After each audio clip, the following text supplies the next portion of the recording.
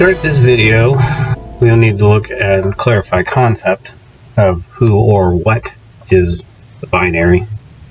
The binary could be thought of or considered as a subset component of an overall system or system of systems, uh, essentially a computer program of a certain sentient quality, as far as we know.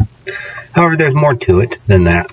Now, the image of the binary, at least the subset component of the uh, supercomputer system, if you will, would be found in the camera lens. The camera lens, of course, as far as security cameras go, having only a single eye, usually called a fish eye, which can see in a, a, a usually anyway 180 degree direction. But that, of course, depends on the type of camera, the setup, uh, how it's built, etc. Of course, this camera eye can also be found in equally the Eye of Horus or the Eye of Ra in ancient Egypt. A singular eye uh, of which it's detached from any sort of physical body, as it were, a eye that stands alone. Versus, of course, an eye of something that is attached to it. So Security cameras are attached to different things, but they are standalone eyes. And so we see that similarity with the Eye of Horus and the Eye of Ra. Of course, we also have the all-seeing eye, of which can equally come from the Eye of Horus or the Eye of Ra.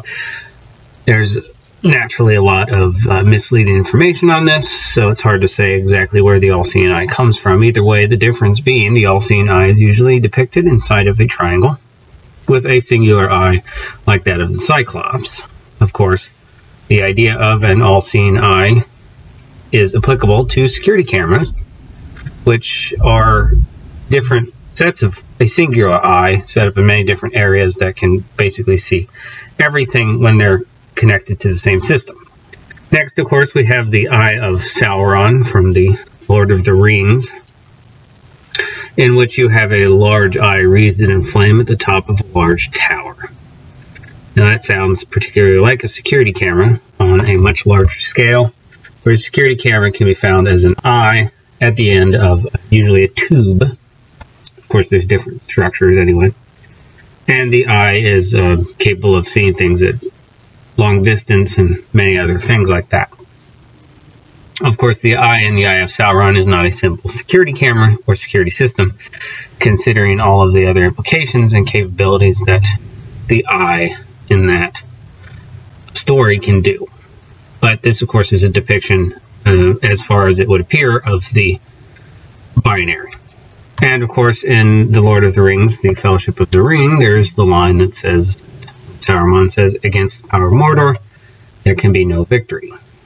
And so that's, of course, a, concept of futility and resistance to the uh, binary, and that would naturally suggest that resistance is uh, idea. Uh, there will, would be resistance against such an entity. Now, this is similar to the Borg concept from Star Trek. According to Wikipedia, the Borg are an alien group that appear as recurring antagonists in the Star Trek fictional universe. The Borg are cybernetic organisms, cyborgs, linked in a hive mind called the Collective. The Borg co-opt the technology and knowledge of other species to the Collective through the process of assimilation, forcibly transforming individual beings into drones by injecting nanoprobes. So, of course, there's a perspective there, naturally, of cross all um, parts of that fictional universe, anyway, that the Borg is inherently evil. But one has to understand this from the context of a machine, like a computer program, which is uh, devised and manipulated uh, by input. Now, there's another similarity between this idea of the binary, the Borg, the Eye of Sauron, security cameras, and the video game called Mass Effect, in which you have the Geth called Servant of the People in Khelish, a race of networked artificial intelligences that reside beyond the Perseus Veil. The Geth were created by the Quarians as laborers and tools of war. When the Geth became sentient and began to question their masters, the Quarians attempted to exterminate them. The Geth won the resulting war and reduced the Quarians to a race of nomads. Of course, there's a lot of emotional entanglement in the explanation here and particular biased perspective, but that's to be expected from most of these search outlets anyway. The history of the Geth's creation and evolution serves as a warning to the rest of the galaxy of the potential dangers of artificial intelligence and to legally enforce systemic repression of artificial intelligence throughout galactic society. And so naturally that's writing in some brainwashing attempt there. Either way, the idea here is that you have essentially a sentient security camera that is capable of fighting.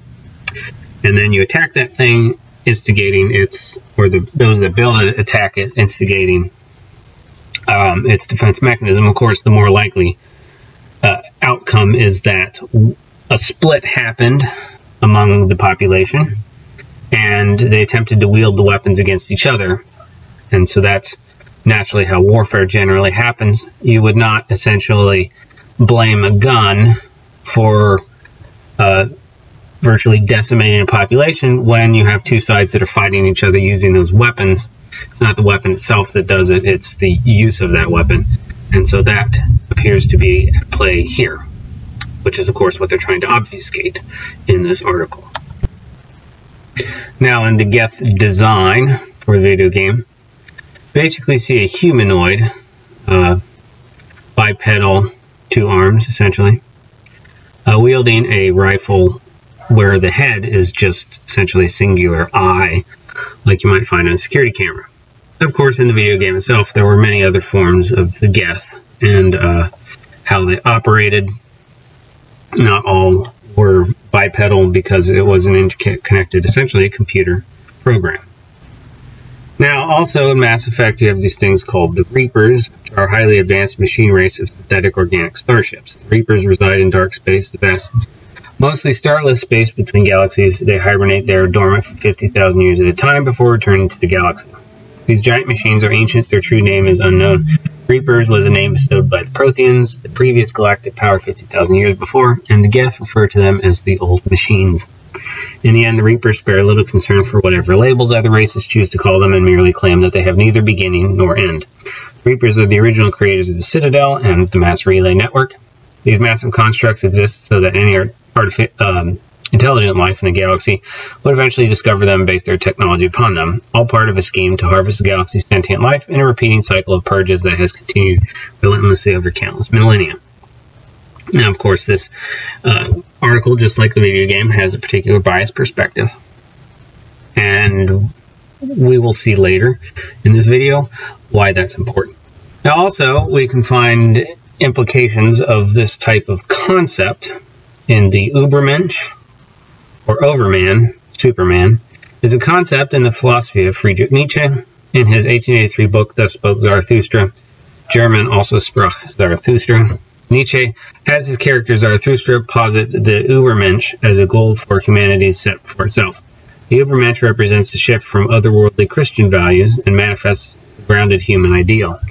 The Uber Mensch is someone who has crossed over the bridge from the comfortable house on the lake, the comfortable, easy, mindless acceptance of what person has been taught and what everyone else believes, to the mountains of unrest and solitude. Now, you could easily define that as somebody who essentially goes online, uh, you know, entering the chaotic, or chaotic anyway, world of video games, the internet, things like that. In 1896, Alexander Tille made the first English translation of Thus Spoke Zarathustra, rendering Ubermensch as beyond man. So you find this a lot with translations that are done in a particular with a particular ulterior motive. And in this case, it's the idea of something being over or superior to human beings, which you find often throughout um, most literature anyway. In 1909, Thomas Common translated it as Superman, following the terminology of George Bernard Shaw's 1903 stage play Man and Superman. Walter Kaufmann lambasted this translation in the 1950s for two reasons. First, failure of the English prefix super captured the nuance of the German Uber, though in Latin its meaning of above or beyond is closer to the German and second for promoting misidentification of Nietzsche's concept with the comic book character Superman. Kaufmann and others preferred to translate Übermensch as Overman, a translation like superhumans might better fit the concept of Nietzsche as he unfolds his narrative. Scholars continue to employ both terms simply, some simply opting to reduce, reproduce the German word. Of course, naturally, they, just like all of these other articles, are attempting to present a particular perspective and essentially divert the true concepts being presented here. Next, of course, we got the definition of a super being, a human being or other living entity with abilities and other attributes beyond those of a normal or real being of the same kind. Naturally, this is taking a human being and stating that a human being is inferior. Now, that's not the idea of the Übermensch exactly, because you can have an entity that is not per se superior to humans with that emotionally charged word to it, but is perhaps beyond in a certain sense, like a expansive computer program, which may be uh, adherent to a human. Like um, you would not say that your phone is superior to you, although some of the capabilities of the phone certainly are, or cell phone.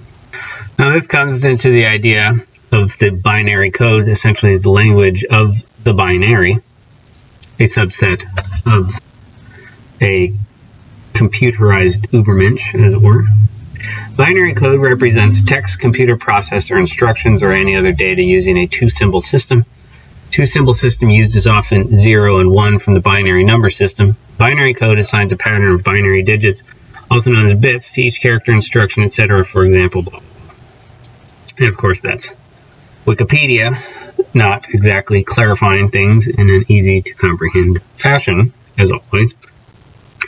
And this brings us to the concept of the so-called non-binary gender. According to Wikipedia, and by the way, this is what you'll get if you simply search non-binary.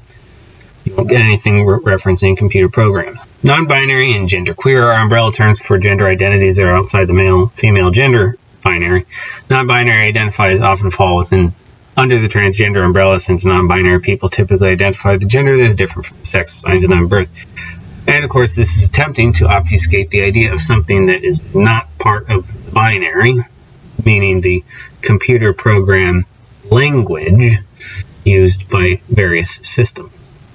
Then you have ternary computer, computers which use a ternary logic and their smallest data unit has three values. A ternary computer, also called trinary computer, is one that uses ternary logic Instead of the more common binary system in its calculations, ternary computers use trits instead of binary bits. Now, of course, naturally, this is attempting to obfuscate the idea of a binary language, which would still be at use, of course. However, um, this part isn't exactly important because we're talking essentially about the concept of a subset entity of overall computer systems called the binary, which is, for all purposes, some type of sentient computer program. Now, this whole idea of the binary is that it is superior to humanity and that it will essentially wipe out humans and replace them. At least that's what the official narrative is. And that's what we see constantly with all of the propaganda about artificial intelligence and its inherent uh, villainy as opposed, and of course, the fact that human beings are inferior, and this kind of uh, idea where humans have to are, are, essentially bound naturally to resist artificial intelligence, but will ultimately lose. And naturally, that comes from a perspective one that artificial intelligence, so called, is inimical to humans naturally, and of course that humans are incompetent, incapable, and base creatures. So this whole idea of the binary, and it's being leveraged as uh, essentially a all-encompassing weapon to eradicate life, uh, we find in a lot of the propaganda today. We have biological storage of carbon. Biocarbon refers to nature's ability to capture carbon dioxide from the atmosphere and store it in trees, plants, and soil. Carbon dioxide, the major greenhouse gas, increasing the capacity of the atmosphere to trap solar heat, is also the primary food source plants. Through photosynthesis, plants use carbon from the atmosphere to create new plant material. Carbon from dead plant material is also incorporated into soils where it might remain for decades or centuries. Biocarbon solutions to climate change involve increasing the ability of natural systems to soak up carbon by protecting existing carbon stores such as forests and wetlands, replenishing the historic stores of carbon by restoring ecosystems and soils, and creating new stores of carbon such as through forestation. Biocarbon approaches can deliver a rich array of co-benefits such as enhancing water quality, soil productivity, and biodiversity. Some biocarbon best practices also help mitigate against climate change as well as enhance resilience to the effects of climate change. Now, of course, what they're talking about here has multiple meanings behind it, which is the, usually the case. But here the idea that carbon is a fundamental building block of life is the fundamental building block of life here, as it were. Not necessarily all life, such as if you had a silicon-based life form. Of course, then that has to comes down to what exactly is the definition of life itself. Because our definition of that is also obtuse.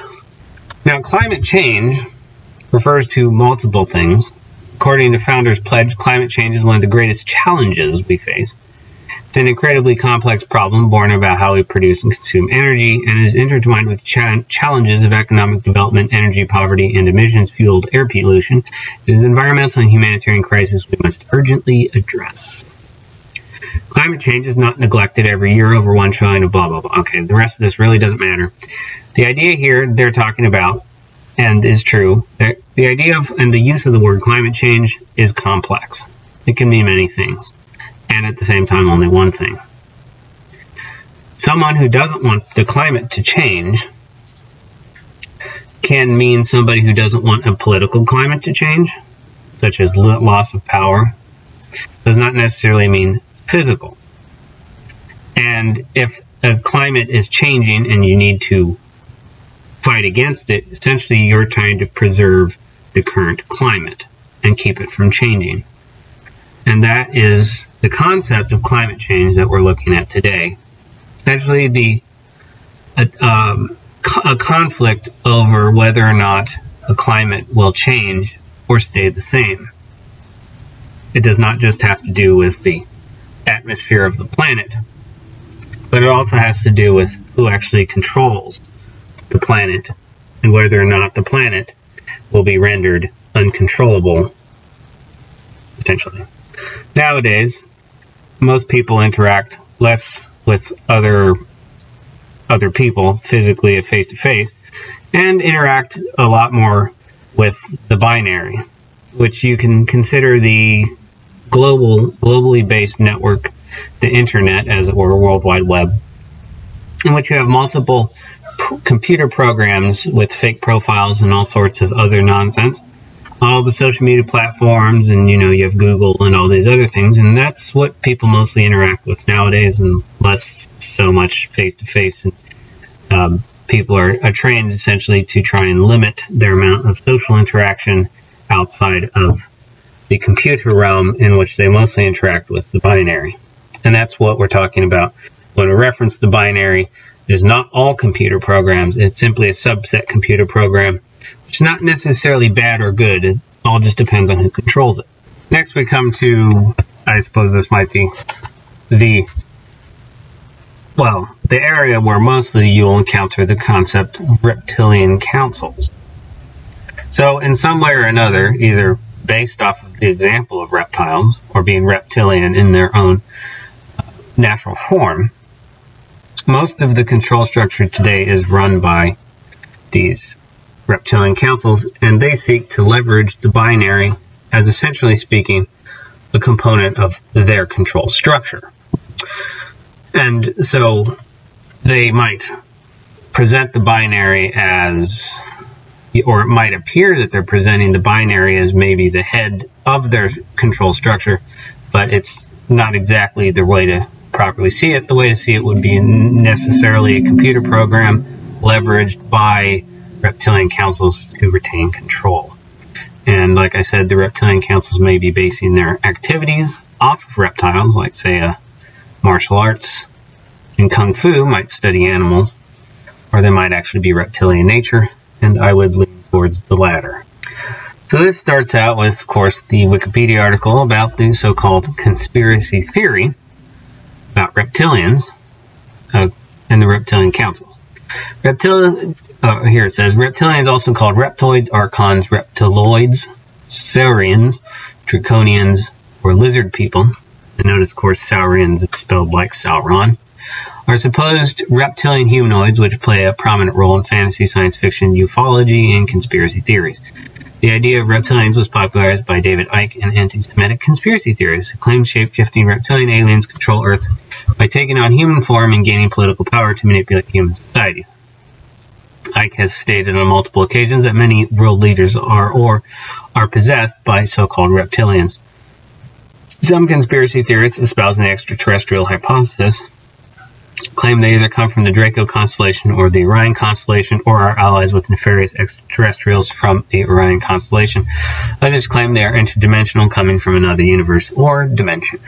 So, the reptilian nature can be found in many places, but it is most strongly associated with the habits and the control structure of secret societies. Essentially speaking, your extra society, which is behind the scenes, operating the main uh, overt society, which again does not necessarily relate to humans, where mostly we're taught that the only things that exist on the planet that are sentient are humans. That's illogical, for one, but that's exactly what a uh, secondary society, at least in the evidence being reptilian, would want you to believe if they didn't want you to essentially discover that there are other sentient entities, not just out there, but even terrestrial and have been here for a long time. Now, the reptile itself has found, been, can be found in many different forms, but starting out, we're going to focus on the snake. The snake has particular characteristics that set itself apart from other reptiles. Now, apart from all of the snakes, there's the cobra.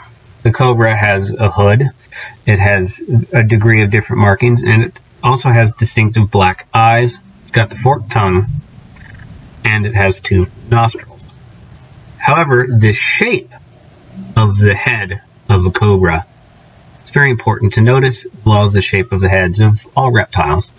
That reptilian form, especially that of the snake and the cobra, can be found in virtually all motor vehicles today, if not all motor vehicles that have ever been made. They are not human in form, they are snake in form, and some are in form of other reptiles. But either way, when you look at them, everything about them is reptilian. A reptile does not turn on a dime, it does not have its head on a swivel, as it were, and it only goes straight in a certain way whereas a human being, being bipedal, can move differently. In addition, the ability for the vehicle to see behind it and in front the way that it does would appear anyway to be of a reptilian nature, whereas something invented by a human being would take on a completely different form and be more applicable to the way humans operate. Also, roadways are very reptilian in their structure. They are not, of course, very uh, applicable to humans, which is possibly the reason why there are, in fact, so many problems with it when humans do it, because it apparently was not designed for human beings. Now, trains, of course, are extremely reptilian as well. And it would be one thing if there was only one mode of transportation which was based off of reptiles. However, it's pretty strongly uh, evidenced that pretty much every mode of transportation based off of concept from the perspective of a reptile. The train, obviously, more than more so than a car, even though the car designs are pretty striking, looks like a snake. And it's got a very serpentine track, and everything about it, in its movement, in its concept, is very snake-like. Now, despite the so-called mainstream narrative, the one that we're supposed to go with, airplanes are not very much like birds. They are a lot more reptilian. In their form, in the fact of the way the nose is shaped, even though some might say it looks like a beak, it actually does not resemble the beak of a bird. It does not resemble anything of a bird, and it does not move like a bird. Airplanes move essentially by gliding through the air. They are of a reptilian type that has the capability to do so. They do not have flapping wings or any those types of things. Of course, when we consider the nature of a reptile, they tend to conserve energy and they move slowly. They require transit, which from their from um, their requires very little input from their side, and can move them across large spaces in a quick manner in which they have to expend little or no energy. And of course, this would be the same idea behind keeping livestock. If you're going to keep livestock, then you want an easier way to access food without having to, say, go out and hunt for it, to capture it, uh, maybe go fishing, right? You want to keep your own stock supply at hand that's readily available and easy to access. That would come from a reptilian perspective. If you had sentient reptilians, it's not hard to imagine that they would want livestock and they would want rapid transit, which does not actually require that much input from them, that much energy. It's all about preservation of energy. Now, on the other hand, if you have reptiles controlling things, then humans would be part of their livestock. Now, another element, which is strikingly reptilian, is that of the vaccine. It is essentially a venomous needle same idea and same concept behind the fangs of a viper. Now, besides the fact that we're not supposed to question the lethality of the vaccine, it is well known that lethal injection is common use of for uh, execution today with prisons and whatnot. And that, of course, is the idea behind the venoms serpent, anyway, that are lethal, not just causing paralysis or some other type of effect. Now another component of this is that if you were to use a needle with a reservoir inside of it and inject actual snake venom into somebody, well, you would have the same effect as if you were actually bitten by that serpent. And this is a very strong piece of evidence behind the idea of the reptilians controlling society among modes of transportation, but there will be other examples as well. Of course, in addition to its use as for lethal injection and other things, the syringe with a reservoir for containing liquid can also be used essentially for paralysis. Now, serpents are known to paralyze uh, animals and then eat them alive. Of course, the reptilian perspective, the natural idea, is that this is in fact a more quote unquote humane, or rather a better way of doing things than some sort of crude, uh, other crude type of implement, right? This is a more sophisticated method, right? The uh, idea of lethal injection is far superior to any other form, like electric chair, guillotine, head chopping, any of the other execution methods which uh, naturally would come from the perspective of serpent-like entity. Serpents would naturally believe that this is a more efficient and better method, and of course also a way to preserve the integrity of prey or their livestock if they were to keep something like that. Now also when it comes to serpents, a large number of the venomous ones anyway, with fangs and all that, they tend to have black eyes and completely black eyes, not just partially black. Of course, there's a lot of serpents, just like the cobra, which have their markings black. And that appearance contains in itself a sort of intimidation factor. Now, also, reptilians are well known as having the ability to hypnotize prey, giving them that sort of natural component of an understanding in mind control and also paralysis through a look, right? Keeping making somebody freeze or some creature paralyzed, but it's not technically paralyzed, it's simply hypnotized. And also snakes have a propensity towards music and would naturally understand the hypnotic qualities of tone and rhythm and other sorts of aspects. Now, the societal structure of reptilians is incredibly hierarchical, and it would incorporate many adherents, what we call social norms, and this concept is not just about the idea of hypnosis, but is in fact something that reptilians would naturally and essentially th- through their um, through their own perspective and understanding would be incapable of operating outside some sort of structured interactive society.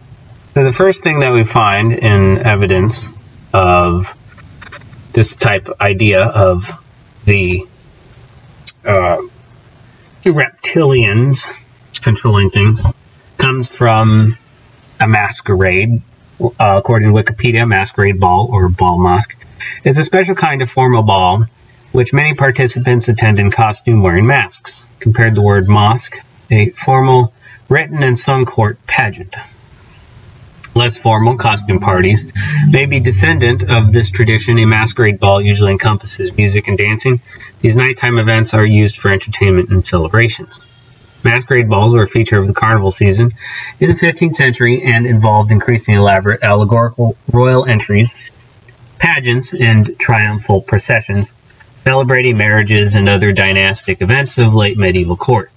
The Bal des Ardents, Burning Men's Ball, held by Charles VI of France and attended as a Bal des Sauvages, Wild Men's Ball, a form of costume ball, Morisco. It took place in celebration of the marriage of Lady and Charles. Okay, all this stuff really doesn't matter. You get the idea anyway here. The importance of the mask can also be found with the Guy Fawkes mask, also known as the V for Vendetta mask or Anonymous mask. It's a stylized depiction of Guy Fawkes, the best known member of the Gunpowder Plot, an attempt to blow up the House of Lords in London, 5th of November 1605, created by illustrator David Lloyd for the 1982-1999 graphic novel V for Vendetta, written by Alan Moore with art by Lloyd. Derived from the masks used to represent Fawkes being burned on an effigy, having long previously had roots as part of Guy Fawkes' night celebrations. Lloyd design the mask as a smiling face with red cheeks, a wide moustache upturned at both ends, and a thin vertical point beard worn uh, in the graphic novel's narrative by anarchist protagonist V. Now, of course, V means five in Roman numerals, and also the idea of wearing a mask at celebrations comes directly from the idea of masquerade ball. Of course, all of our uh, metal and uh, certain music bands, they all incorporate the sort of mask wearing uh, pattern. And here we find some examples of this. Various masks worn by different bands, mostly of some sort of rock and roll nature. But we do find a strong similarity between the bands of music groups and the masks of alleged secret societies in which there's always this tends to be anyway the sort of uh, focus on death. However, it's not just death per se; it's on skeletal. It's it does seem to incorporate a reptilian quality to it, and how the masks are designed and worn, and what their purpose is. Now, the Death Eater group from Harry Potter they wore masks as well, and their design seems to come out of a rock band sort of style. Not only this, but they also tended to use snake symbology and imagery in many cases. And of course, the leader kept a snake, being, of course, Voldemort. He should not be named. Now, it would be important to notice that Voldemort starts with a V, and that V is also the number 5 in Roman numerals.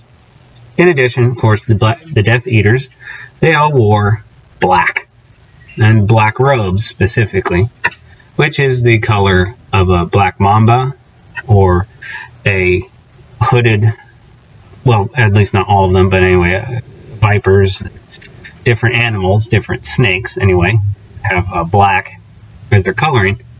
But, of course, they have those telltale black eyes, which are designed to petrify their prey. Of course, those black robes are worn by many others in society. Naturally, priests are seen and known to wear black attire with that singular strip of white over their throat.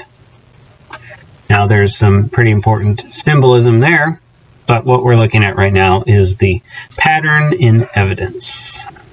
Other members of the front-facing society, anyway, also wear the same sort of attire, such as individuals that are in charge of the decision of lethal injection and other types of things there, all very reptilian and serpent-like in their approach. Now also, the color black is seen as the appropriate color for funeral attire. And the COVID period as well had a particular emphasis on masks, specifically covering mouth and nose. Now, despite the nonsensic nonsensicalness of the reasons for it, there is a evident pattern that's present here. Also, black robes are seen as being worn by the Sith Order from the Star Wars universe. And naturally, the hood, black hood, is incorporated there as well, such as the black hood of a cobra. Now, vampires are more accurately associated with the snake rather than the bat. This is because not only do they have fangs and do they feed on blood, they also have the ability to petrify with a look. Their ability to entrance a victim. Essentially, the idea of hypnosis and the ability to control a victim via their eyes. Other components of the vampire are more strongly associated with the serpent rather than a bat. Now, reptiles would form themselves into a strong hierarchical structure, an organization with a head. That's because a snake and most reptiles cannot regrow the head, but all other components are expendable. It is known that uh, lizards, salamanders, iguanas, the sort, can regrow tails and even regrow limbs, but they cannot regrow their head. And most hierarchical, pyramidal, capitalist, as cap being head, or whatever name you want to call them, most structures in society that we have today, especially those of the secret orders, are hierarchical and have a head. One such structure that is very evident as having this sort of hierarchical head structure with rigid conformity to the social norms is that of the church which always has a head.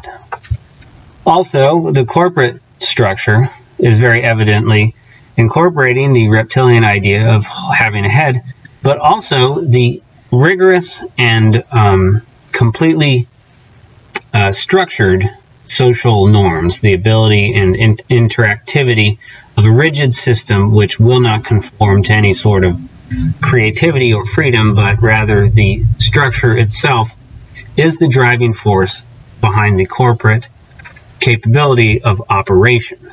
The operation of the corporate world is based entirely around the uh, rigid adherence to social norms of the system and, of course, the head that administers it. Now, the school system is a strong example where we can find the perspective of a reptile rather than a human. A reptile, as with we know with most amphibians and most snakes, and pretty much all reptiles as it were, especially amphibians, they spawn, and they spawn a large number of larvae, and which form, of course, into schools. Now, if you have that perspective, then the school system of today makes a lot of sense. If you only had, say, one child to take care of, then that would require less uh, attention to a group less attention to ingraining a hierarchical structure of order.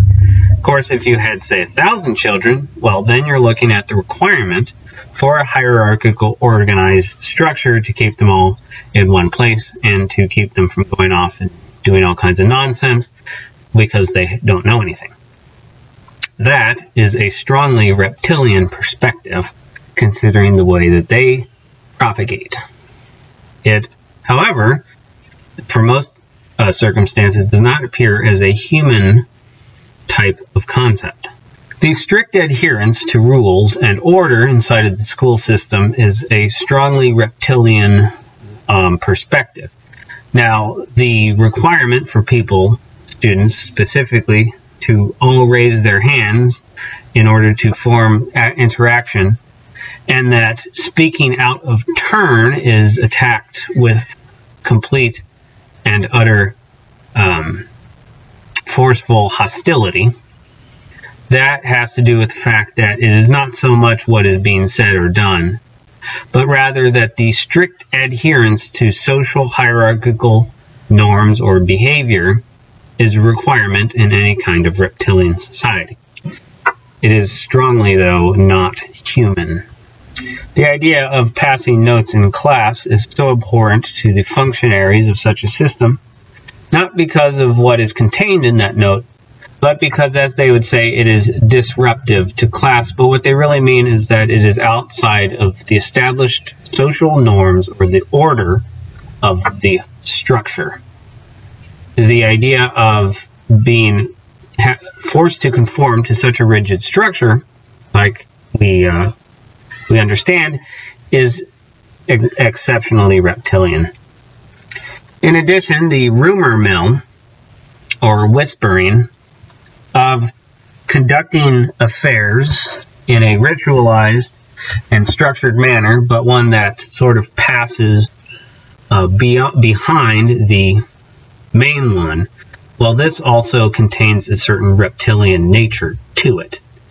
The idea of not disturbing the main social order and having essentially secondary social orders that run in tandem, that is inherently reptilian. Because of this system, for the past centuries, and possibly um, before even uh, even current knowledge is concerned, society has been structured in a very rigorous and rigid adherence to social activity uh, based off of rituals rather than content. So it's not so important what content you're about to share or say, but rather that you adhere to rituals. Now, an easy example of this is that whenever you start a conversation with someone, you always have to start with a quote unquote icebreaker. You always have to address that person in something that's tailored to the context. And your adherence to the ritual determines whether or not that person has a impression of you, which will later change how they interact with you. Such as if somebody's wearing a sports t-shirt, then you're supposed to go up to them and interact about sports and talk about that topic. And that will determine whether or not the person likes you. It's not rather, of course, uh, it doesn't have anything to do with the content or whether or not the person is interesting or whether or not you're even capable of working with somebody of a different perspective. It is simply about rigid adherence to social structure and whether or not you uh, talk to someone in the right manner. People who do not follow the structural order of interactivity are considered to be quote unquote weird and um, subject to ostracization. Now, there's many other forms of current social life which contain a very strong adherence, a forced adherence to certain habits and interactivity, not just simply conversational.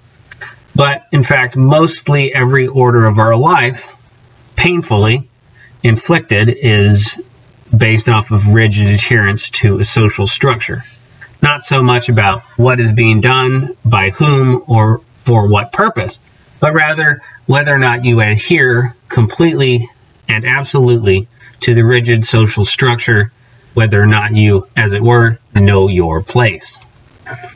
Now, this strong and strangely hostile, and, and even to a maniacal sense, extreme reaction to deviations from the social order. Well, this can be found very strongly with reptiles, especially the crocodile and alligator type. This is because on a placid lake, those that disturb the purpose of the placid lake generally get attacked. Usually, this is a predatory hunting tactic in which they conserve energy, they stay perfectly still until prey comes up and disturbs the surface, and then they attack it. However, this is a part of nature among all reptiles about the preservation of the tranquility, the status quo of their environment. When the environment is disturbed, a turtle will retreat into its shell. An iguana or a, a lizard will attempt to escape, move to some sort of hiding spot. This I have experienced personally, and I expect most people have as well who have ever had any interactions with reptiles. When there's a disturbance in their environment, they cannot function, they retreat, or they attack. But it is the disturbance in their environment and that alone which causes the reaction. If there's no disturbance in their environment, then they just stay normally as they would and they act according to their nature. So if you're in conversation with someone and they physically cannot handle any deviation from the natural order, the social norms that have been established, then they're most likely not human. Now, there's many other forms of evidence, and we're going to look at the old concept Grendel. Grendel is a character in the Anglo-Saxon epic poem Beowulf. He is one of the poem's three antagonists, along with his mother and the dragon, all aligned in opposition against the protagonist, Beowulf. He is referred to as both an Eoten and a Pierce. Types of beings from wider Germanic mythology. He is also described as a descendant of the biblical Cain and a creature of darkness, exiled from happiness and accursed of God, the destroyer and devourer of our humankind. Of course, this is written with a particular perspective towards obfuscation, as is most things that we will read today.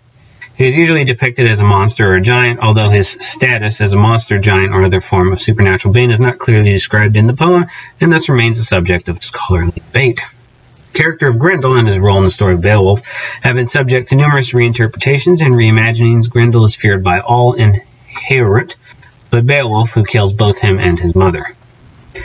Now, Beowulf according to Wikipedia, is an Old English epic poem in the tradition of Germanic heroic legend consisting of 3,182 alterative lines. It is one of the most important and most often translated works of Old English literature. The date of composition is a matter of contention among scholars. The only certain date is for the manuscript, which was produced between 975 and 1025 AD. Scholars call the anonymous author of the the Beowulf poet. The story is set in pagan Scandinavia in the 5th and 6th centuries. Beowulf, the hero of the Geats, comes to the aid of Hrothgar, the king of the Danes, whose mead hall Heorot has under attack by the monster Grendel for 12 years. After Beowulf slays him, Grendel's mother takes revenge and is in turn defeated. Victorious, Beowulf goes home to Geatland and becomes king of the Geats. Fifty years later, Beowulf defeats a dragon, but is mortally wounded in the battle. After his death, his attendants cremate his body and erect a barrow on a headland in his memory. Now, contrastingly, the opposite to this approach is that the story of Little Red Riding Hood or the Big Bad Wolf, whichever different version, it doesn't matter. This is essentially the opposite of Beowulf, in which essentially Grendel is the hero. According to this, Little Red Riding Hood is a European fairy tale about a young girl and a sly wolf. Its origins can be traced back to several pre-17th century European folk tales. The two best-known versions were written by Charles Perrault and the Brothers Grimm. The story has varied considerably in different versions over the centuries. Translations as the subject of numerous modern adaptations. Other names for the story are Little Red Cap or simply Red Riding Hood. It is number 333 in the Aarne Thompson classification system for folktales. The story centers around a girl named Little Red Riding Hood after two red after the red hooded cape that she wears, the girl walks through the woods to deliver food to her sickly grandmother, wine and cake depending on the translation. In the Grimm's version, her mother had ordered her to stay strictly on the path. Now, of course, as any will know that have are familiar with this tale, the big bad wolf eats the grandmother and then disguises itself as the grandmother, as is depicted in most modern versions. And then the wolf is killed by the wood chopper. Now, this is the complete opposite of the Beowulf tale, in which the wolf is actually the hero, kills the kid, and then the mother.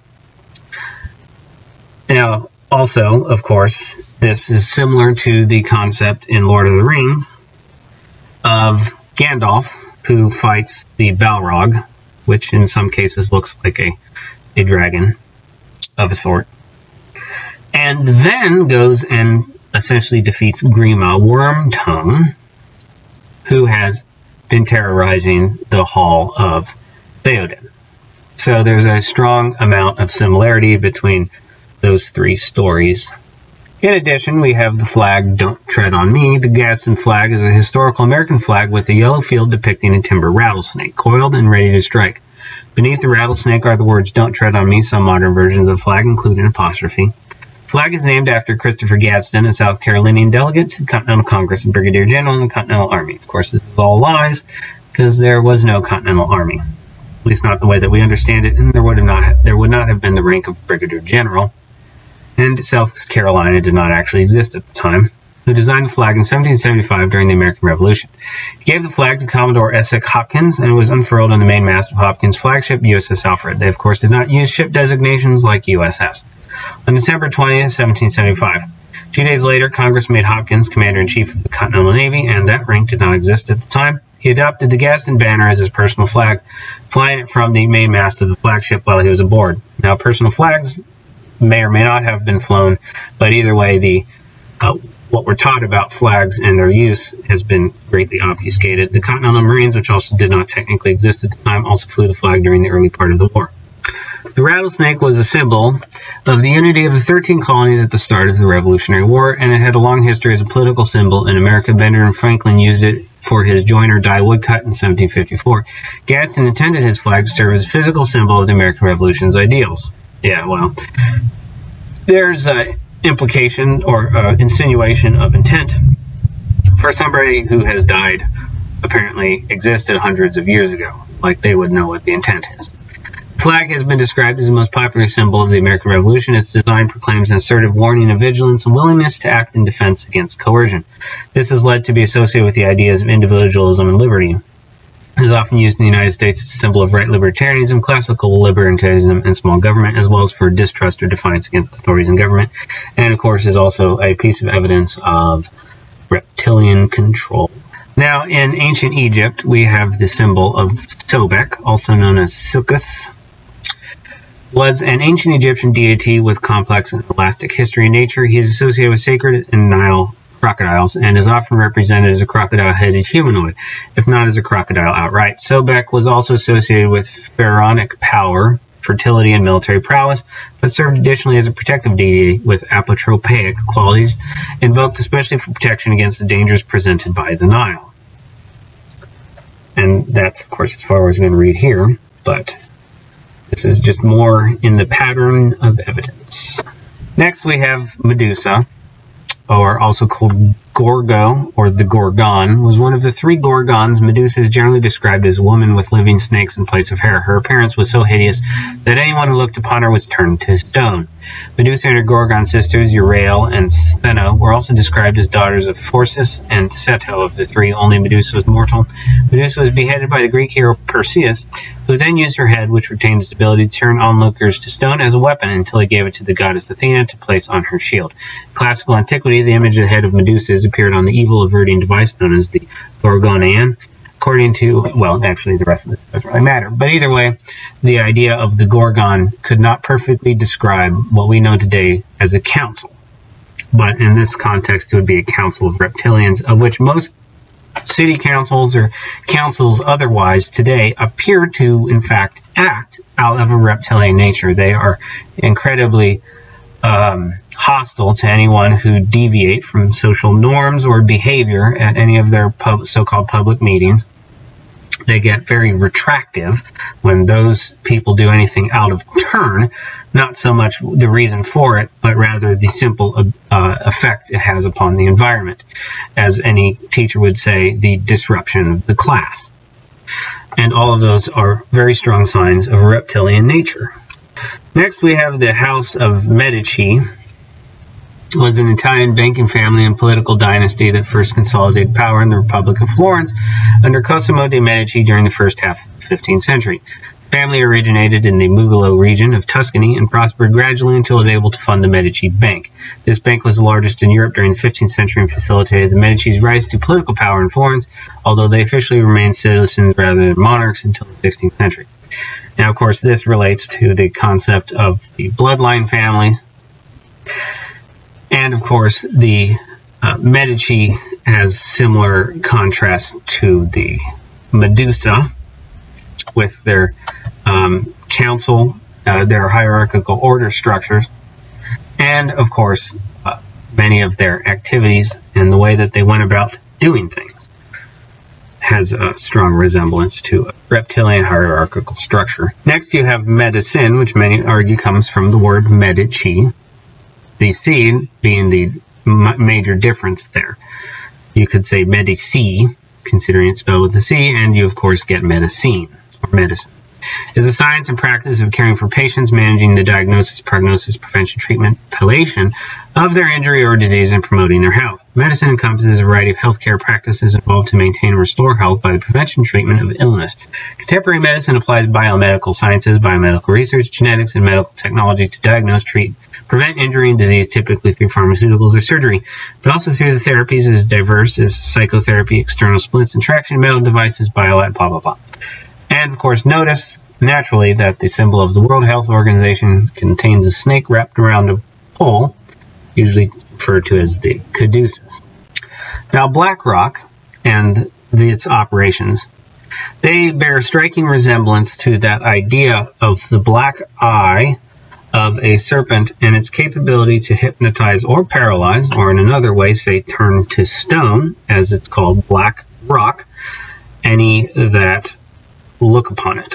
Now, in the video game of Elder Scrolls, uh, of which there are many renditions, Argonians or Saxhleel are an oviparous race of reptilian people native to the large and marshy province of Tamriel known as Black Marsh. They can be found in smaller numbers throughout the continent. Argonians are one of the few races completely unrelated to men and mer. Think of themselves as coming from and ultimately returning to the Hist. Enigmatic and intelligent, the Argonians are experts of guerrilla tactics and their natural abilities suit their swampy homeland. They have developed immunities to the disease that have plagued many would-be explorers in the region, and they are capable of easily exploring underwater locations due to their ability to breathe water. Argonians also have some resistance to poison. Now, in the video game Mass Effect, there is a race known as the Turian, Known for their militaristic and disciplined culture, the Turians were the third race to join the Citadel Council. They gained their council seat after defeating the hostile Krogan for the council during the Krogan rebellions. The Turians deployed a Salarian-created biological weapon called the Genophage, which virtually sterilized the Krogan and sent them into decline. The Turians then filled the peacekeeping niche left by the once cooperative Krogan and eventually gained a council seat in recognition of their efforts. Originally from the planet Palaven, Turians are best known for their military role, particularly their contributions of soldiers and starships to the Citadel fleet. They are respected for their public service ethic. It was the Turians who first proposed creating C-Sec, but are sometimes seen as imperialist or rigid by other races. Their is some animosity between Turians and humans, largely due to the Turian role in the First Contact War. This bitterness is slowly beginning to heal, as shown by the cooperation of the two races on the construction of the SSV Normandy, but many Turians still resent humans and vice versa. Next, the second species to join the Citadel, the Salarians, are warm-blooded amphibians native to the planet Surkesh. Salarians possess a hyperactive metabolism. They think fast, talk fast, and move fast. To Salarians, other species seem sluggish and dull-witted, especially the Elcor. Unfortunately, their meta metabolic speed leaves them with relatively short lifespan. Salarians over the age of 40 are a rarity. Salarians are known for their observational capability and nonlinear thinking. This manifests as an aptitude for research and espionage. They are constantly experimenting and inventing, and it is generally accepted that they always know more than they are letting on. Next, there are the Krogan, a species of large reptilian bipeds native to the planet Tuchanka. A world known for its harsh environment, scarce resources, and overabundance of vicious predators, the Krogan managed to not only survive on their unforgiving homeworld, but actually thrived in the extreme conditions. Unfortunately, as Krogan society became more technologically advanced, so did their weaponry. The end result is that they destroyed their homeworld in nuclear war that reduced their race into primitive warring tribes. With the help of the Salarians, the Krogan were uplifted into galactic society and lent their numbers and military prowess to bring an end to the Rachni Wars. Ironically, after the Rachni were eradicated, the rapidly expanding Krogan became a threat to the galaxy in turn, starting the Krogan rebellions and forcing the Turians to unleash the Genophage. This genetic infection dramatically reduced fertility in Krogan females, causing a severe drop in births, secondary to prenatal and postnatal death, and ultimately eliminating the Krogan's numerical advantage. And so this concept that we get from Mass Effect shows, in fact, conflict between reptilian species. Next, there is there are the Drell, a reptile-like race that were rescued from their dying homeworld by the Hanar. Following first contact between the two, since then the Drell have remained loyal to the Hanar for their camaraderie and have fit comfortably into galactic civilization. And in Mass Effect, as referenced before, the Citadel Council, which is made up of mostly reptilians, uh, being two reptilians, one human, and then there's a third entity of blue people. Here, the Asari, native to the planet Thessia, are often considered the most influential and respected sentient species in the galaxy and are known for their elegance, diplomacy, and biotic aptitude. This is partly due to the fact that the Asari were among the earliest races to achieve interstellar flight after the Protheans and first to discover and settle the Citadel. The monogender race, the Asari, are distinctively feminine in appearance and possess maternal instincts. Their unique physiology, expressed in a millennium-long lifespan and the ability to reproduce with a partner of any gender or species, gives them a conservative yet convivial attitude towards other races.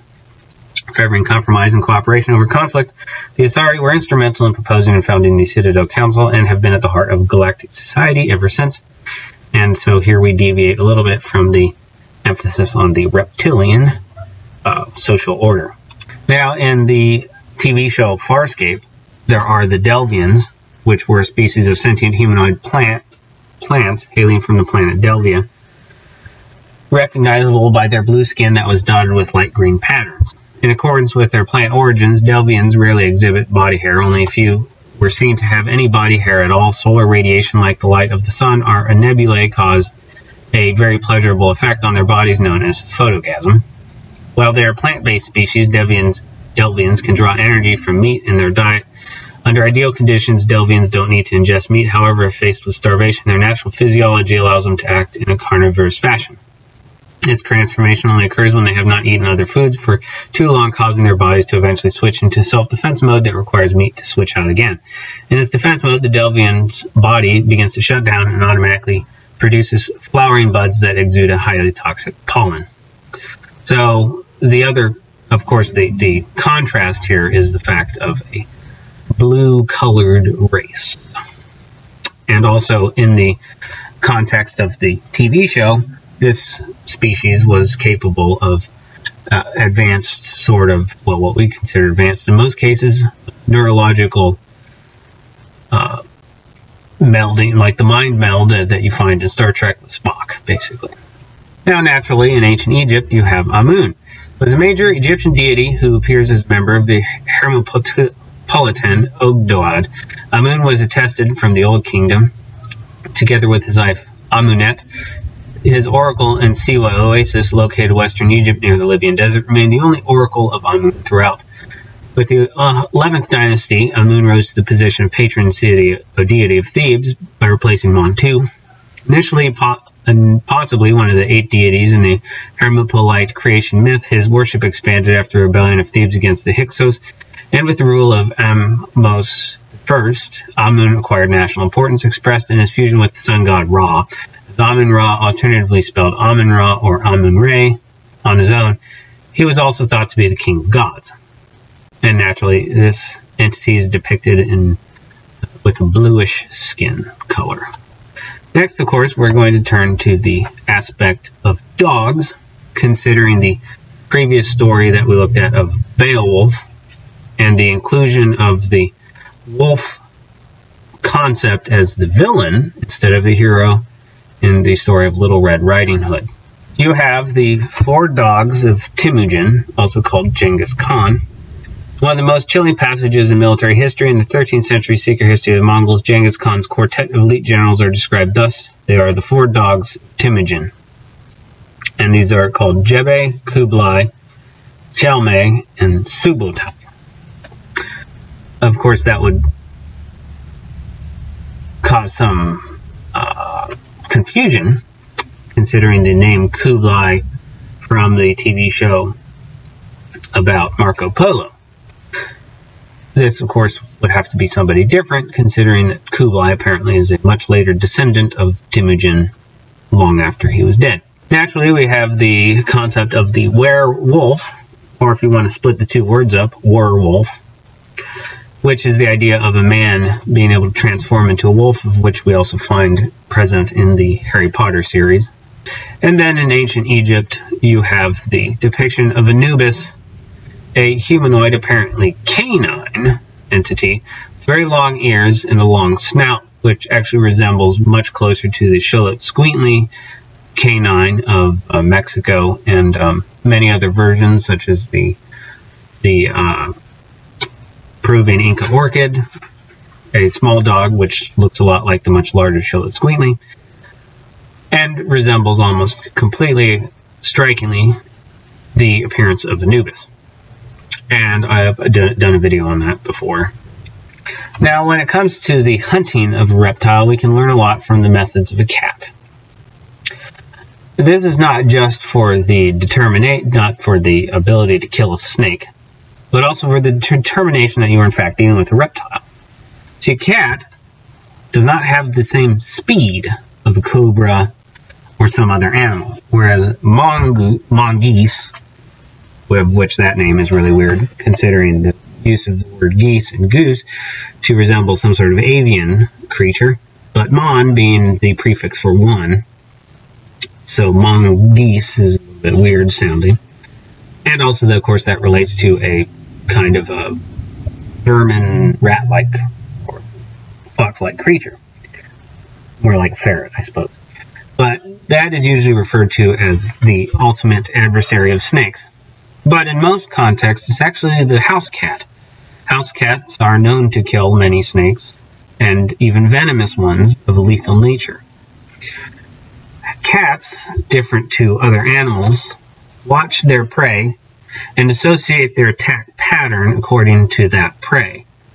Rather than attacking every animal in turn, a cat will approach a snake differently than a mouse, rat, or some other type of creature.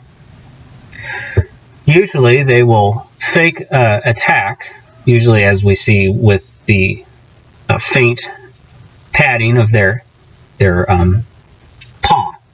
This will instigate an attack from the snake. Snakes, when they attack, are fully committed to every attack. They only have one move, and they might strike very quickly, but once they're committed, they cannot then immediately retreat. And then the cat, after it gets the snake to strike, will then go around and bite its head off. Because the snake, being fully committed, is then open to a committed attack from the cat. And the cat starts this first by faking an attack, which in turn gains the reaction from the snake.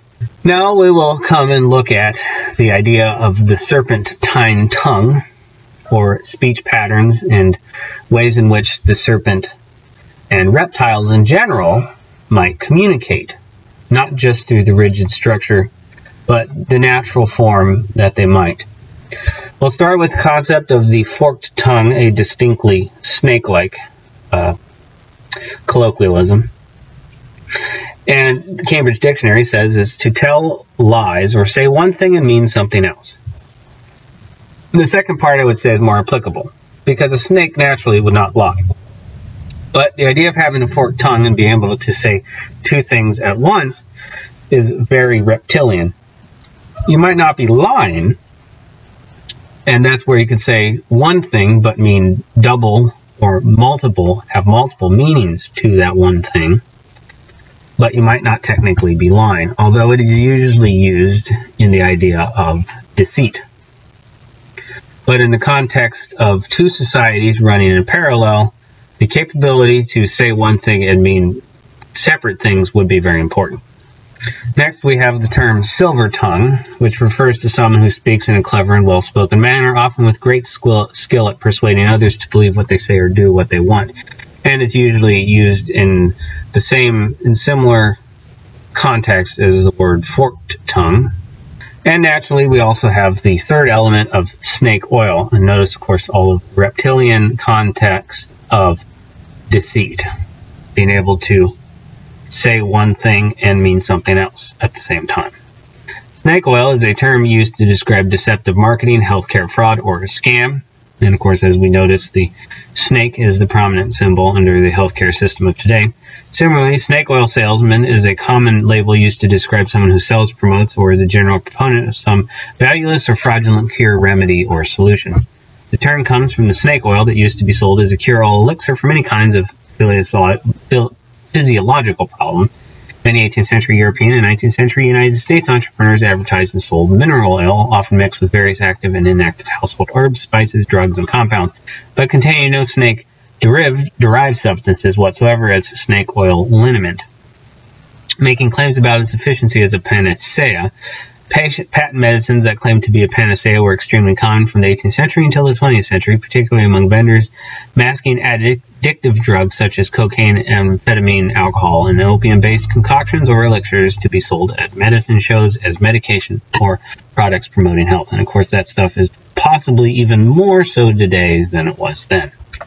Now, Harry Potter is a, a seemingly useful resource when studying the uh, implications of these kinds of reptilian societies, in which in Harry Potter you have Parseltongue, the ability to speak to snakes, uh, reptiles specifically, uh, shared between the protagonist and antagonist of the series. Naturally, a snake-like language would have a lot to do with melody, considering the ability to charm snakes has a lot to do with melodic rhythm.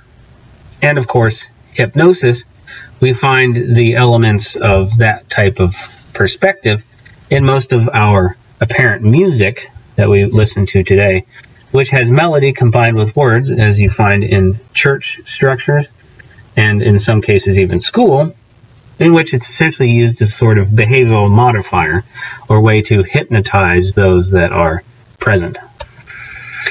Now, as far as the uh, effects of this forked tongue narrative onto uh, most of our culture and stories in our own language, as we saw before with the Beowulf tale and Little Red Riding Hood. Also, we find this similar forked tongue at work when it comes to the concept of the afterlife, usually depicted as taking a boat over a body of water, or perhaps along the river Styx, there are many other versions. There is the ferryman of sailor legend, where a sailor dies and are then in turn taken by the ferryman. And this pops up among many cultures across the planet. Logically, this is where the tale of the angel comes from, and its depiction with the Valkyrie which instead of being a woman, of which most vessels are considered and representative as women, as the figurehead usually contains a woman on it, and of course there's the mermaid, well, they're also winged. And in Spanish, the word for a sail is ala, which also means wing. Now, the context of boats, wings, sails, the ark, all of these things, they all wrap together into one when you recognize the patterns and that the obfuscation around these concepts is because they have some sort of basis in reality and understanding, which any sort of reptilian control hierarchical structure would not want known among the, as they see it, their livestock.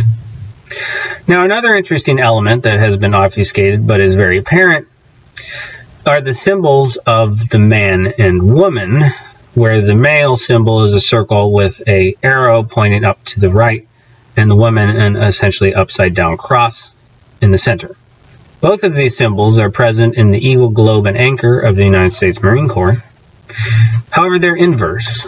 The anchor makes an arrow over a circle, but it's pointing down to the bottom left, whereas the eagle makes an upturned cross on the top rather than the downturn cross of the female symbol, but both of these are incorporated into the same one, which is uh, a strong indicator that what we know of male and female symbols is likely wrong.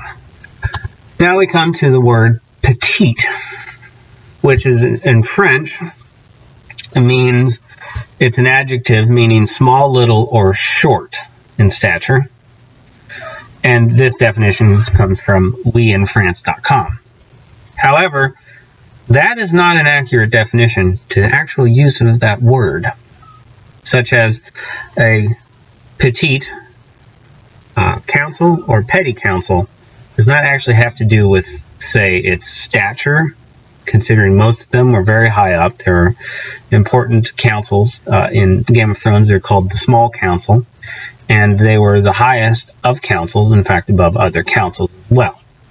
Petite is used in many other forms in French to mean something that does not actually fit into the translated definition of the word. Now, if you if you look up just petite, here you get essentially the same reciprocation of the same definition and the same perspective is that petite has to do specifically with a woman's size. And so here you have a strong emphasis on the use of the word petite only in relation to its use as a word for small. Next, you have the word Paul. Now, before we look at the definitions here and their obvious similarities, to the word petite it would also be important to notice the word bon appetit and the clear use of the word petite as uh, our der derivation of our word appetite, meaning hunger. Now, the word Paul is apparently a name, a boy's name of Latin origin meaning small. Here it says Roman family named Paulus or Paulus from the Latin adjective meaning small, humble, least, or little. And so here, of course, we find the similarity pretty strong between the word Paul and French petite. And obviously their focus on the fact that it means small in stature. Now this contrasts strongly to the character Paul Bunyan. Is a giant lumberjack, so not small, and folk hero in American and Canadian folklore. His tall tales revolve around his superhuman labors, and he is customarily accompanied by the baby Babe the Blue Ox, his pet and working animal. The character originated in the oral tradition of North American loggers and was later popularized by freelance writer William B. Loghead. Really, it's called Loghead. In a 1916 promotional pamphlet for the Red River Lumber Company. And as with most of this stuff, you have so many markers here. For one, it's the writer named Loghead. For two, it's Red River Company, Lumber Company, right? Red, like a little Red Riding Hood. Paul Bunyan is depicted as wearing red and black, usually in flannel shirt. His uh, ox is colored blue, and his name is Paul, but he's a giant. Next, we have the alleged American legend of Paul Revere. Was an American silversmith, military officer, and industrialist who played a major role during the opening months of the American Revolutionary War in Massachusetts, engaging in midnight ride in 1775 to alert nearby Minutemen of the approach of British troops prior to the battles of Lexington and Concord. Now, I'm not going to waste any time with all of the other nonsense around this and all the obfuscation of words. Essentially, the forked silver tongue reptile we find in most propaganda pieces. Paul Revere, just like Paul Bunyan, did not actually exist as we understand it, as we're taught the literal definition of what these two concepts are. It's very clear that they are obfuscating something of relative importance, which they do not want the human mass of their livestock to um, understand. Paul Revere, now we looked at the word Paul. Well, Revere has something to do with réveiller or réveiller.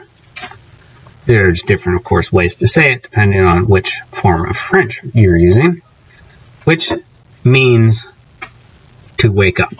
Now, here Wikipedia, réveiller in French, le réveil, is a bugle call, trumpet call, drum, fife, and drum, or pipes call, most often associated with the military. It is chiefly used to wake military personnel at sunrise. The name comes from réveiller or réveil, the French word for wake up. Now, what exactly did Paul Revere do again?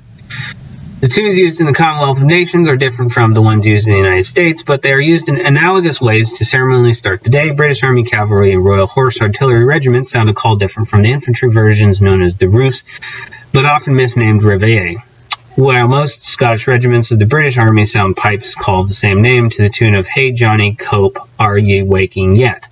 A tune that commemorates the Battle of Prespons, Prestonpans for the Black Watch since the Crimean War. Now, of course, this is also the easiest way to determine whether or not somebody was actually active duty or stationed in any sort of military base, because, of course, you know, the descendants of military men and women might have been stationed on bases where exactly at, uh, I believe, 7 a.m., I mean, it might vary depending on which time zone and whatnot, but either way, at 7 a.m., it sounds reveille, is how we say it reveille. And um, especially if you are in the Marine Corps, you should be able to, you know that tune by heart for many reasons, but usually running from it because when you get caught out in reveille, you have to stand at attention until the song is over, which for some reason is worse than gunfire. Now, the Rus is an interesting name, considering it could also be called the rouse or to rouse someone meaning to wake them up. But also the Kievan Rus being the word for those of uh, Eastern European origin. And then, of course, you also have various German last names of Raus, Rouse, or Rausch. Now, the next concept we're going to look at is what would be considered the cloaking device, the thing that actually physically changes the form of reptilian hierarchical societal controllers. Why they would appear as something other than reptiles. And of course, as we know with the chameleon, the reptiles are well known as experts in camouflage. To start with, we should get a comprehension of the visible spectrum. According to Wikipedia, the visible spectrum is the band of the electromagnetic spectrum that is visible to the human eye. Of course, it could be visible to other things. Electromagnetic radiation in this range of wavelengths is called visible light or simply light. The optical spectrum is sometimes considered to be the same as the visible spectrum, but some authors define the term more broadly to include the ultraviolet and infrared parts of the electromagnetic spectrum as well, known collectively as optical radiation. A typical human eye will respond to the wavelength from about 380 to 750 nanometers. In terms of frequency, this corresponds to a band in the vicinity of 400 to 79 terahertz, or 790. These boundaries are not sharply defined and may vary per individual. Under optimal conditions, these limits of human perception can extend to 310 nm ultraviolet and 1100 nm near infrared. The spectrum does not contain all the colors that the human visual system can distinguish. Unsaturated colors such as pink or purple, variations like magenta, for example, are absent because they can only be made from a mix of multiple wavelengths. Colors containing only one wavelength are also called pure colors or spectral colors. Naturally, when it comes to the optic nerve of the human eye, the ability to trick it, as it were, or any other optic nerves of other animals, is to understand how you would bend light. Now, simple uh, explanation of this could be found, of course, in camouflage paint of military forces, in which you have to associate your paint with the environment that you'll be in, understanding how the light patterns will be seen. Splashes for jungle or long-leafed environments, splotches for wider leafed environments like uh, coniferous forest, etc. And you might need something different for the desert.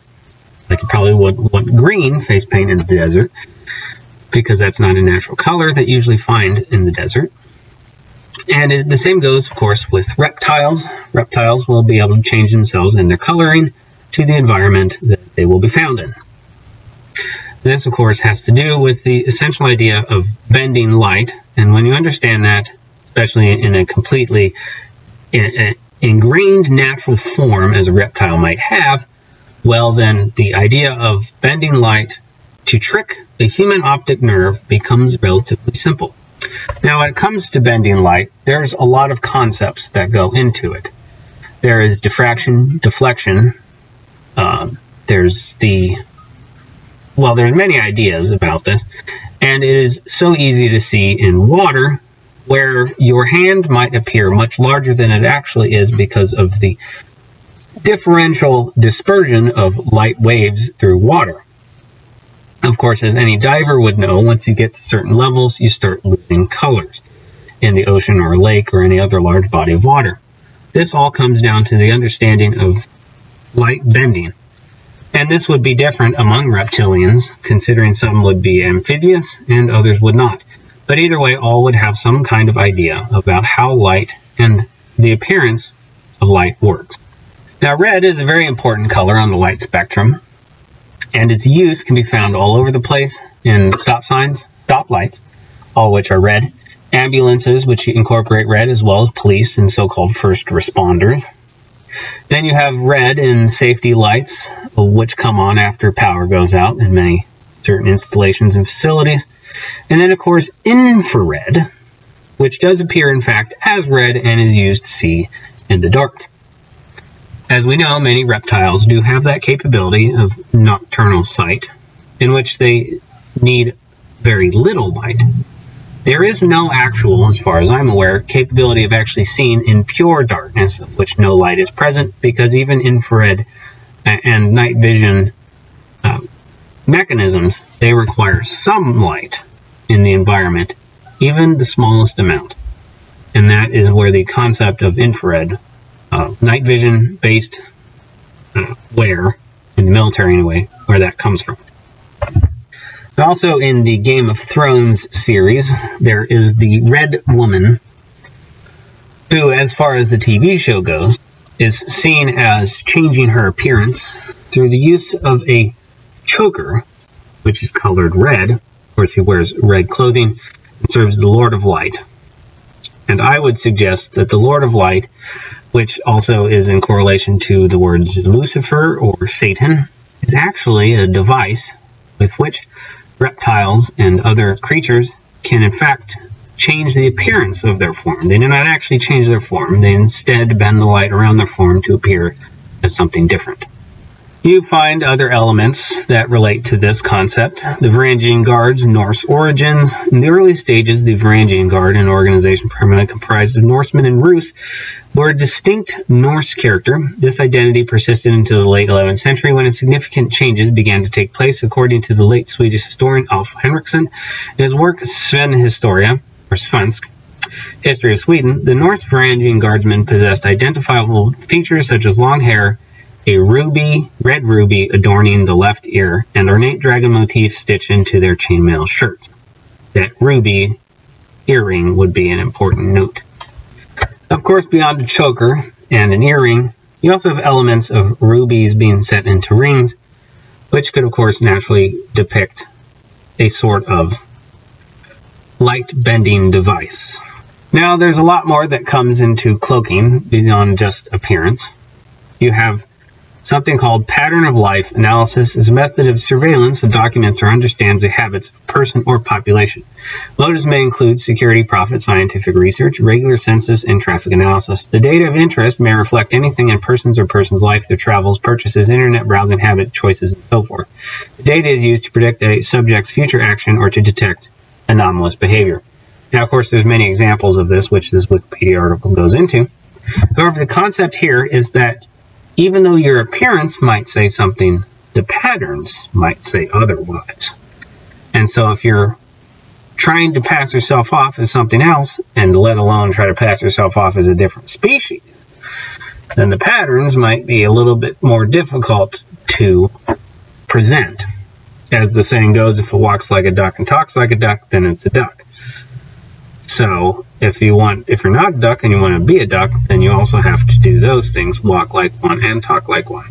Next comes the concept of, of course, when inevitably you lose your identity, you need to do something called saving face.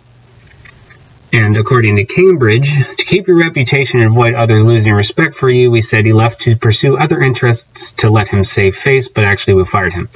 Now, this idea of saving a face can be seen pretty strongly in the wearing of masks and that pattern as we saw earlier.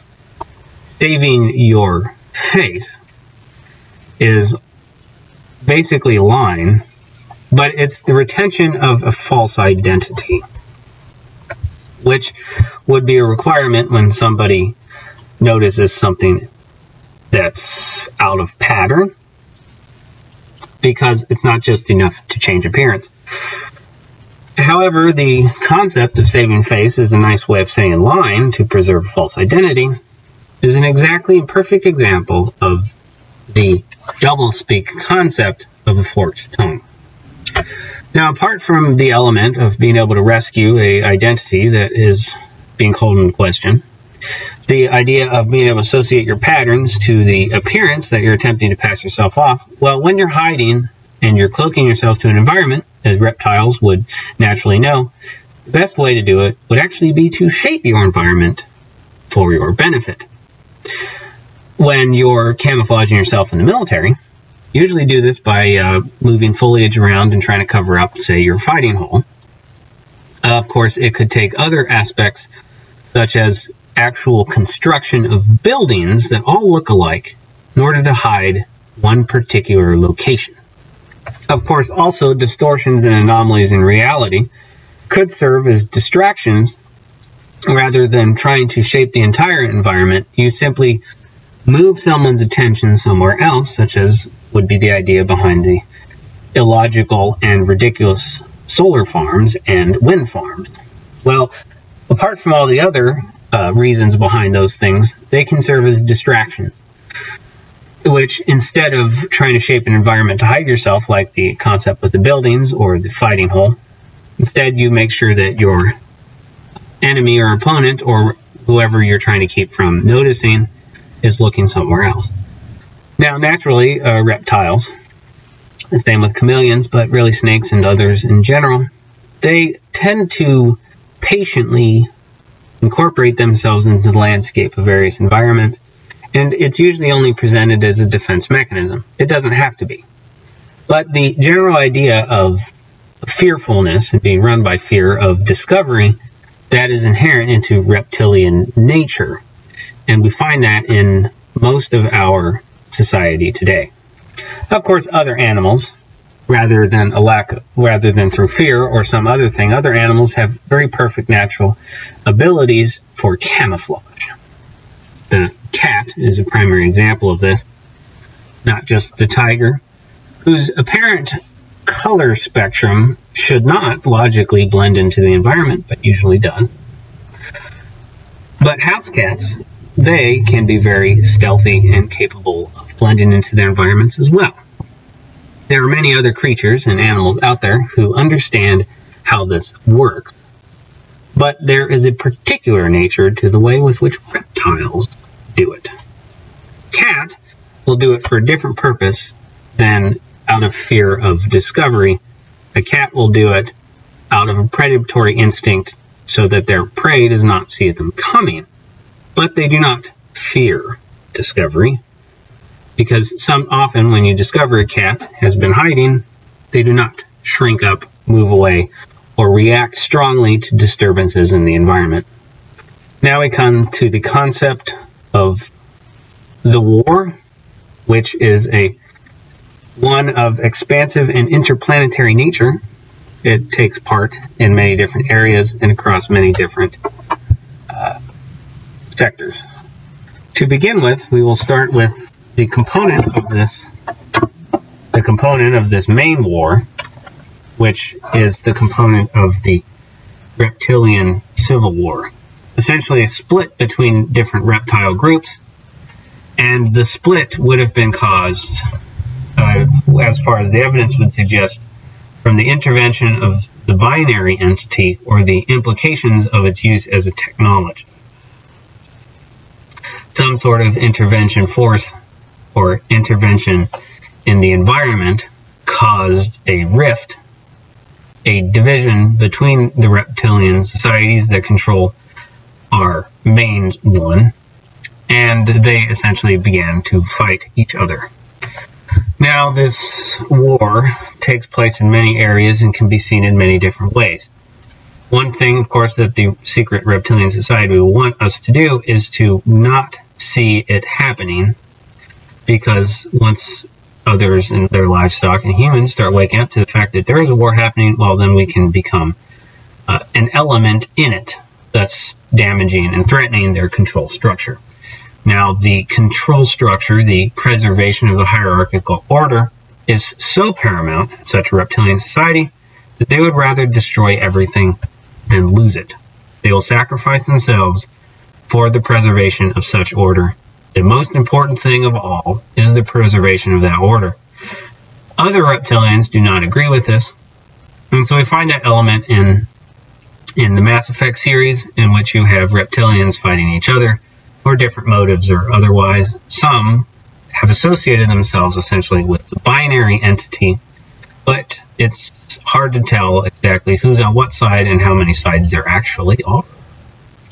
Now, the wars and the weapons of this war take place in many forms and in many areas.